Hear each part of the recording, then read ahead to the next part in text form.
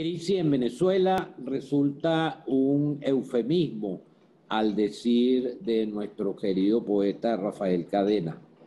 La cruda realidad es que Venezuela, este país que tanto amamos y queremos, está social, económica e institucionalmente en situación más bien de destrucción. Esa destrucción se ha convertido en una tragedia humana para las familias venezolanas para los dos millones y medio de habitantes que han migrado en los dos últimos años, para los perseguidos políticos por violación de sus derechos civiles y políticos. Estamos convencidos de que solo un proceso de transición hacia la recuperación de la democracia como forma de gobierno y como modo de vida social puede conducirnos al desarrollo humano sostenible Estamos convencidos de que los actores principales de este proceso son los ciudadanos y sus organizaciones, porque la democracia no es solo un resultado, es también un ejercicio de lucha, de conquista, de trabajo colectivo, que genera hábitos de interrelación, de discusión, de escucha y discusión, de compromiso colectivo. La democracia entonces no es solo un punto de llegada, es también una cultura que se fragua en la conquista de ella, que se fragua como pueblo, como sociedad. Y los dolientes de la democracia son en primer lugar los ciudadanos que la exigen, que la luchan, que la construyen.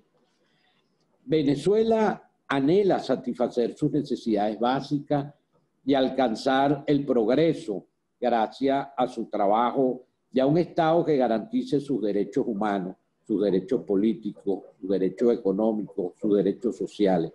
Venezuela quiere vivir en paz, reconciliada, respetando la diversidad y contando con seguridad ciudadana.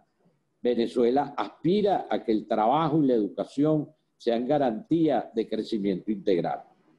Varias organizaciones nos, nos hemos dado cita hoy para proponerle a la sociedad venezolana rescatar la democracia como derecho como aquello que nos es inherente desde nuestra dignidad humana, como aquello que es la mejor garantía del Estado de Derecho y de la protección de los derechos humanos y a la vez no podemos hablar de democracia si el sistema de gobierno que toma este nombre prescinde de los derechos humanos y del Estado de Derecho.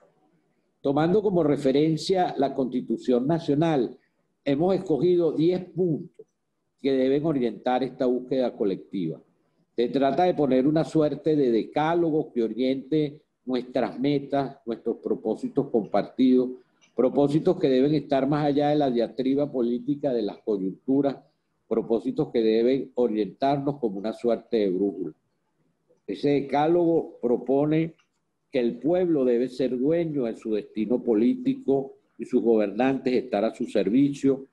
Segundo, que la, la participación ciudadana debe tener, debe estar garantizada y debe ser la base fundamental de un clima de la sociedad que permita su intervención directa en los asuntos públicos.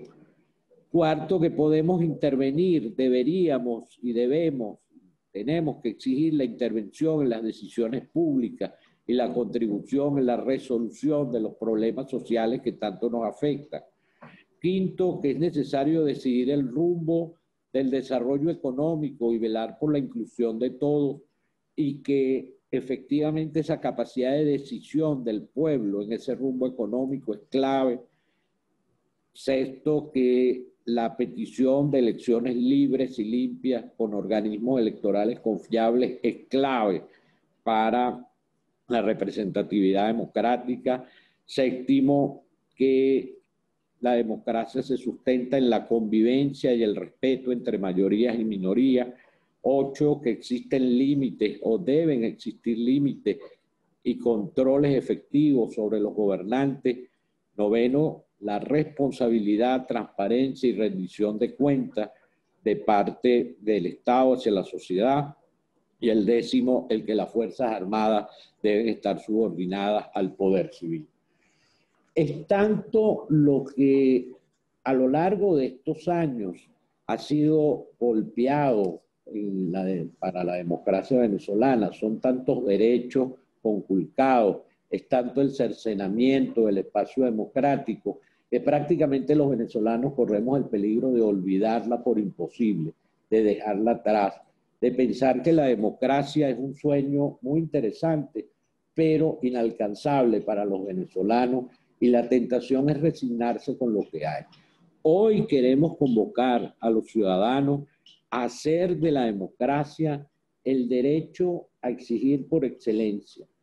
Queremos hacer del derecho a vivir a la democracia ese derecho al que no podemos y no debemos renunciar si queremos un desarrollo sostenible de la sociedad venezolana, si queremos vivir en paz, si queremos transitar de esta terrible tragedia a una sociedad más humana y más digna.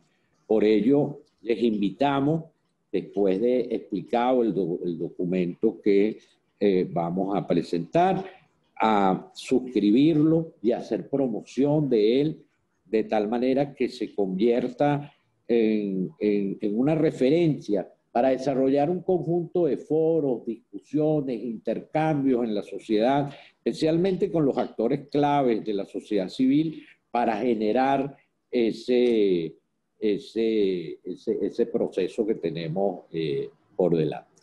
Bueno, muchísimas gracias.